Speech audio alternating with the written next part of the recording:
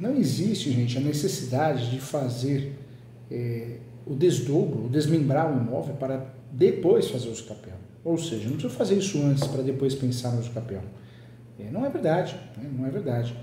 É, o uso por si só, ele pode impactar na unificação de duas ou mais matrículas ou desmembrar duas ou mais matrículas. Né? Então, nós esquecemos das diversas funções que tem o uso além de regularizar o imóvel, inclusive defender, né? Defender o imóvel uma delas. Então, não, existe essa necessidade, tá? A pergunta que foi feita, ah, professor Juliette, preciso desmembrar meu terreno antes de fazer o uso? Não é verdade, isso é uma bobagem. O uso capião ele já pode causar, inclusive, esse efeito, né? desmembrar unificar uma matrícula.